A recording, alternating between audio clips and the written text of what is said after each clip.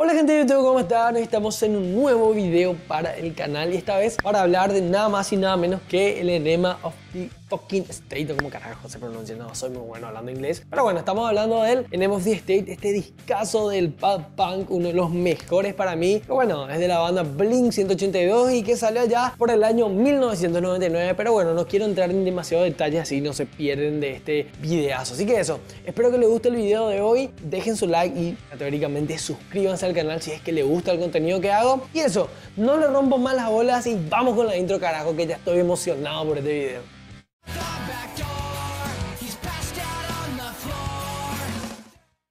En el año 1999 y luego de un considerable éxito con su álbum Dude Ranch, el trío californiano Blink-182, conformado en aquel entonces por Travis Barker, Mark Hoppus y Tom DeLonge, entrarían al estudio a grabar uno de los discos que marcaría el pop punk y que bueno, sería uno de los discos que catapultaría a la banda a ser una de las más emblemáticas del género. The Name of the State es un disco que viene cargado con canciones que hablan del amor,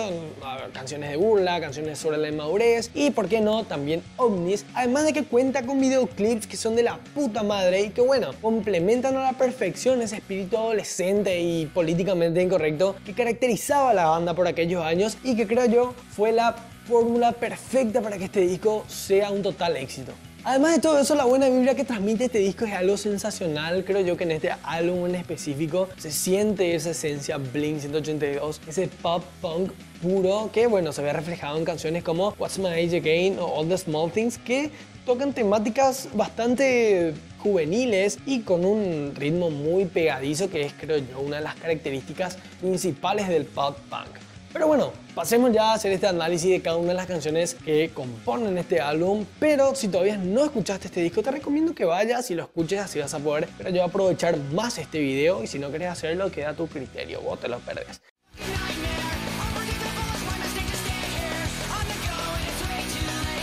Con Don't Wait ya nos damos cuenta que el sonido Dude Ranch fue dejado atrás y con un riff de la puta madre que creo yo fue diseñado específicamente para foguear, el trío comienza esta canción que fue escrita por Tom DeLonge y que habla acerca de que este no puede dejarla a su novia porque bueno, eh, tiene miedo a quedarse solo y esta cada vez se vuelve más rompebola, mancha pelota, él no quiere saber un huevo de ella. Y bueno, en cierta parte de la canción este tiene la idea loca de querer entrenar a mujeres como si fueran perros y bueno, Don't Wait es una canción que a mí me explotó la cabeza desde el primer segundo que lo escuché tanto por el riff inicial que tiene, que es una joyita del álbum, y bueno, tanto por la bata, que creo yo fue una decisión muy buena la que tomó Blink 182. Eh, bueno, dejar a un lado a Scott Raynor, que fue su antiguo baterista, para meter a Travis Barker a darle un nuevo sonido a la banda, un nuevo estilo, y esto se siente en Don't With. Bueno, la canción tiene mucho dinamismo, eh, juega mucho con la intensidad, y bueno, el bajo eh, se limita a hacer lo justo y lo necesario. Es simple, pero al ojo. Y sin bajar las revoluciones pasamos al tema Don't Leave Me, canción en la cual ya se siente un poco más la presencia del bajo, y además de ser la primera canción cantada por Mark Hoppus dentro de este álbum. Esta canción trata básicamente acerca de la ex de Mark y de toda la desesperación que él vivía por miedo a que su novia no lo deje. Y esto se puede notar en la canción ya que él todo el tiempo es muy insistente con ella y ella todo el tiempo es directo con él y le dice, bueno, che, ¿sabes qué? No quiero saber carajo dos y andate a la mierda en pocas palabras. Además, voy a tirar un fun fact que, bueno, eh, hace que haya dos versiones de la historia de esta canción. Por un lado tenemos la que yo les conté, es acerca de la ex de Mark. Y por otro lado tenemos lo que él dijo en un concierto en vivo, justamente en el álbum en vivo que tiene la banda, la cual dice que, bueno, esta canción trata acerca del herpes genital. Yo no sé cuál de las dos son las verdaderas. Me imagino que vivir con esas dos cosas debe ser una desesperación, pero yo me opto mejor por la primera opción. En cuanto a lo musical, tengo que decir que este tema no es que tanto me, me, gusta en cuanto a lo instrumental, digamos, pero si algo tengo que destacar son las armonías vocales que hay en cierta parte de la canción que, bueno, le dan un toque único a pesar de que no se pueda replicar esto vivo.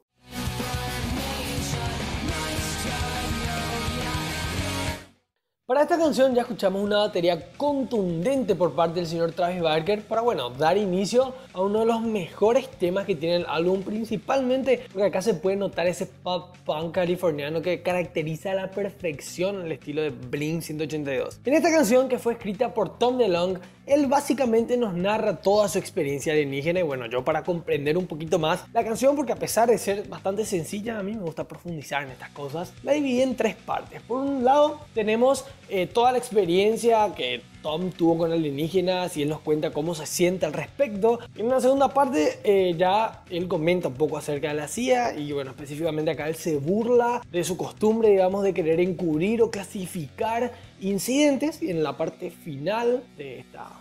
partes que yo dividí la canción tenemos esa especie de miedo o sospecha que siente Tom DeLonge de, bueno, contarle a las autoridades o de contarle a la gente lo que él vivió y que lo traten de loco o que simplemente le digan, che, ¿sabes qué? Lo que vos viste no existe y en realidad vos estás loco o lo que sea, ¿entendés? Que lo traten en pocas palabras de un loco.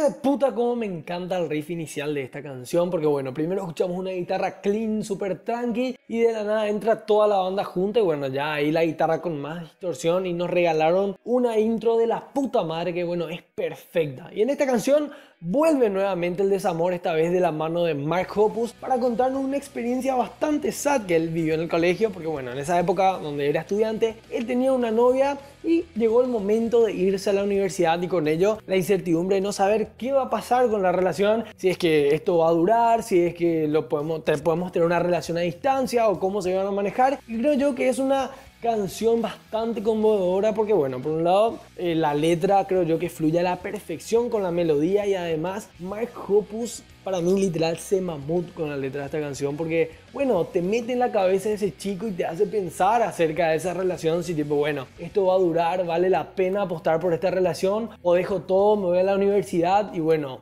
de cierto modo maduro y acepto mi realidad.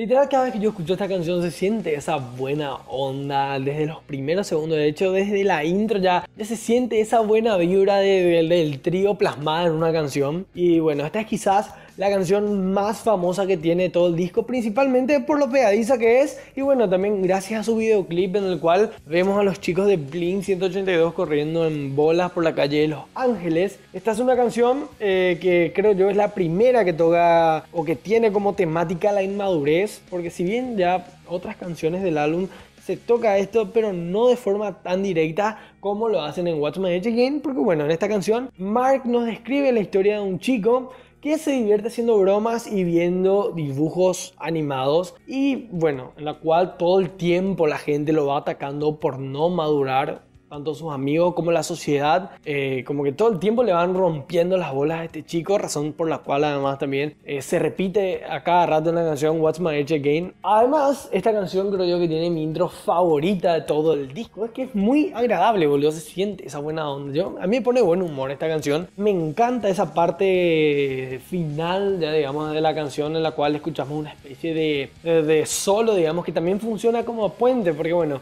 acá como que van bajando un poco la intensidad y ocupan mayor protagonismo Mark y Tom con, una, con un solo, digamos, que bueno, poco a poco va subiendo intensidad y revientan todo otra vez con un coro explosivo.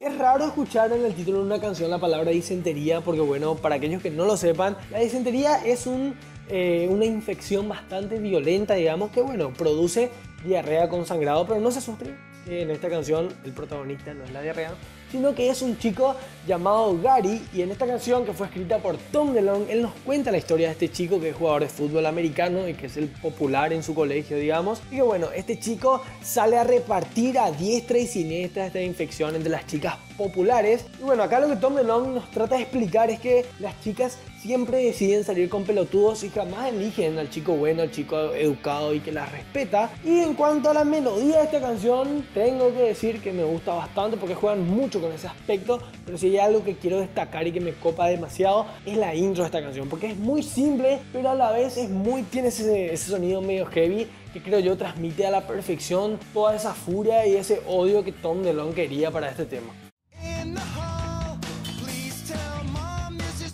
Por favor, dile a mamá que no fue su culpa, es una de las frases que más se me quedó en la cabeza este tema. Adam Song se encuentra en segundo lugar en mi lista de canciones sad de Blink porque siempre se va a encontrar en Miss yo en primer lugar. Y por cierto, si todavía no viste el video que hice acerca del álbum homónimo de Blink, te lo voy a dejar acá arriba para que después vayas a chequearlo y bueno, de paso dejes tu like también en ese video que está muy bueno por cierto. Pero bueno, volviendo a Adam Song, esta es una canción que bueno, fue escrita a base de dos historias. Por un lado tenemos la nota o la carta de suicidio de un chico y por el otro tenemos la depresión que vivía Mark Hoppus en cierta etapa de su vida en la cual él mismo cuenta que bueno, los chicos de Blink salían de gira y cuando estos volvían a su casa Mark específicamente se sentía solo, se sentía vacío porque no tenía nadie que lo esperara en su casa, ya que bueno, todos eh, los demás integrantes de Blink tenían sus respectivas novias y él en ese momento no tenía, así que bueno, se sentía solo y vacío. Además, creo yo que esta canción fue erróneamente catalogada como pro suicida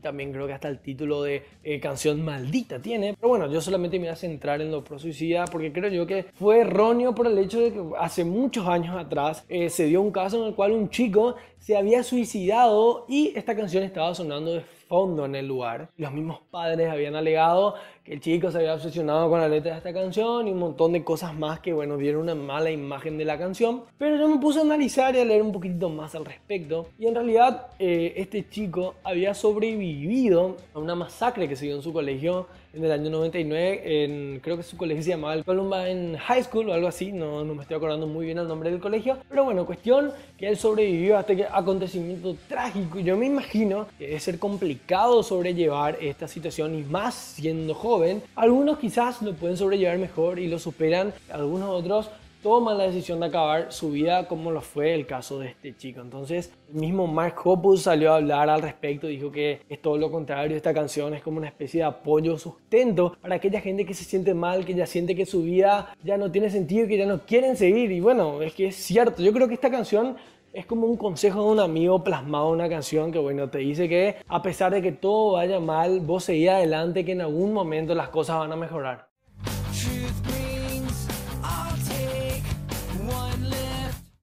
Un clásico del pop punk y una de las primeras canciones que escuché de Blink 182, All the Small Things es una canción extremadamente pegadiza y muy simple en cuanto a lo instrumental. Fue escrita por Tom DeLonge y Mark Hoppus, en la cual estos cuentan su experiencia con sus respectivas parejas y los pequeños detalles que, bueno, formaban parte de la relación. Además, eh, de hecho, esa parte de la canción en la cual se habla acerca de que la chica le dejó flores en la escalera a su novio, se trata en realidad de algo que pasó en la vida real, ya que la novia de Tom DeLonge por aquellos años y ahora ex esposa Jennifer Jenkins le había dejado a este flores en las escaleras y bueno, él decidió ponerlo en una de las canciones más icónicas que tiene el pop punk. Por otro lado, el videoclip de este tema es algo que, bueno, creo yo define a la perfección el humor de la banda, ya que acá vemos a los chicos de Blink haciendo parodia a los videoclips de las bandas más populares, a las bandas más pop de aquellos momentos como NSYNC, eh, Backstreet Boys y otras más que ahora no me estoy acordando y que bueno, creo yo que fueron los responsables tanto el tema como el videoclip que el éxito de la banda se fuera por las nubes.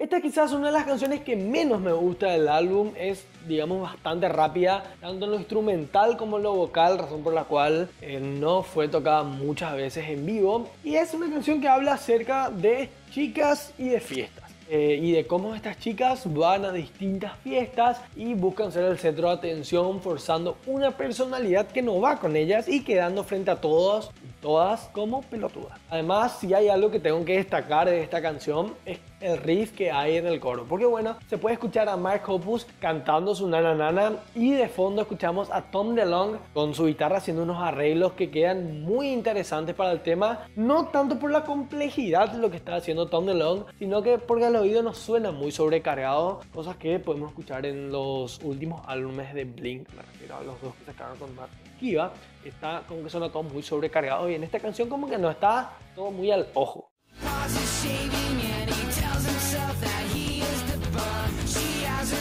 Monta es una canción que yo cuando la escucho automáticamente ya la relaciono con la película American Pie. Yo no sé por qué, quizás porque, bueno, esta apareció también en la película y porque quizás tiene ese espíritu muy juvenil que caracteriza a la banda y a la película. Pero bueno, cuestión que Mood es una canción que habla acerca de un amigo de Tom DeLonge llamado Benji Weatherly. De hecho, el título de la canción es el apodo de este chico que, bueno, era un surfista profesional o es, no sé si sigue vivo. Y que, bueno, su motivación de vida, digamos, su, lo único que quería hacer todo el día era agarchar y pasarla bien. Eso era lo único que él quería hacer y bueno, se nota que Tom DeLonge le pareció muy interesante su vida y decidió ponerla en una canción que para mí no es tan profunda, pero está muy buena la canción, porque habla acerca eh, de una pareja que quiere hacer eso también, quiere hacer todo el día y pasarla bien. Porque no, cada uno con su vida, cada uno tiene sus motivaciones y bueno, es una buena forma de vivir la vida, carajo, hay que respetarse. En cuanto a lo instrumental, tengo que decir que este tema me gusta todo. Me gusta la intro guitarra, me gusta la bate, me gusta en especial el bajo que acapara la atención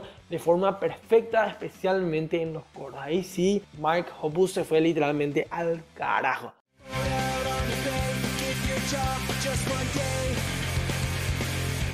En este tema, Mark Hoppus vuelve a las voces y nos cuenta una historia de amor, podría decirse, en la cual él se enamora de una mujer con la que no puede salir porque esta es muy influyente y demás hierbas. De hecho, según leí por ahí, se trata de una mujer que era un alto cargo del sello discográfico MCA Records, para el cual había firmado Blink 182 eh, por aquellos años. En cuanto a lo musical, tengo que decir que este tema me copa bastante. No es algo muy impresionante, no es un tema de puta, pero a mí particularmente me gusta, la intro es bastante pegadiza y me gusta mucho, pero si hay algo que tengo que destacar, así que es lo más wow que vi en todo el tema, es cuando se escucha solamente la guitarra de Tom y la voz de Mark. Creo que es un arreglo muy bueno porque es algo tranqui y ahí juegan mucho con, la, el dinamismo de la canción y luego de eso entra nuevamente Travis y hace todo un despelote con su batería y creo que es lo único en lo cual ahí tengo que destacar la, la participación de Travis porque si bien hace un buen trabajo en este tema. Creo que no es nada impresionante tomando como parámetro otros temas de este disco. Creo que va a lo justo y lo necesario, va a lo que le pide el tema.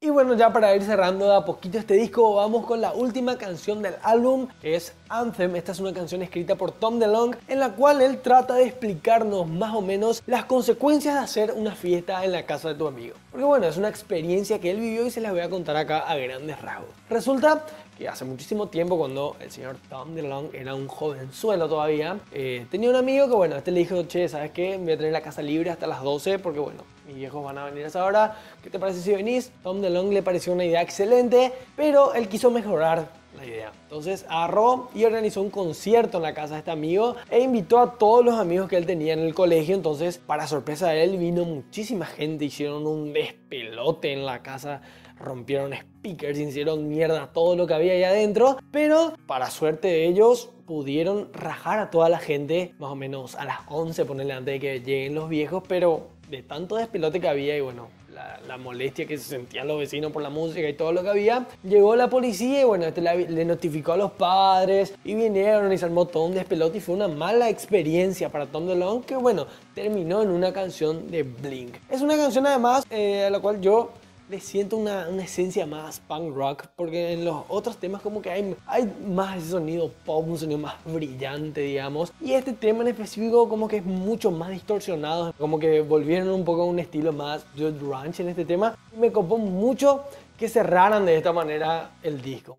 Y bueno gente, espero que les haya gustado muchísimo el video de hoy, así como también a mí me gustó hacerlo porque bueno, el Enema of the State es un disco que marcó mi adolescencia, así como igual lo hizo con mucha gente. Y si vos todavía no escuchaste este disco, te recomiendo que ahora vayas y lo escuches ya que vas a tener una idea más clara de cuál es la historia y todos los mensajes que hay detrás de cada una de las canciones. Así que eso, quédense en sus casas, cuídense, vean películas, escuchen buena música y nos vemos en un próximo video.